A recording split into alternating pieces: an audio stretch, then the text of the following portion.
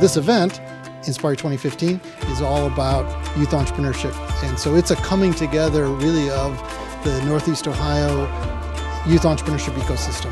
Everybody involved the teachers, administrators, organizations, funders.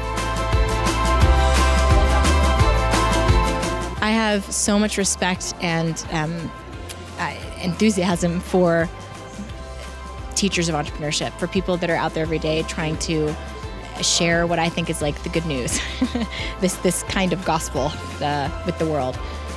I said it in my talk, but I mean, I really think entrepreneurship at its core is about teaching people people to be more hopeful, to be um, solution finders, to be creative in the way they're thinking about approaching a problem and solving a problem. So it's all my favorite stuff, and so I feel I feel very honored to get to be here with this group. Call to action to everybody to champion the entrepreneurial spirit in everything that we do in our work and our lives.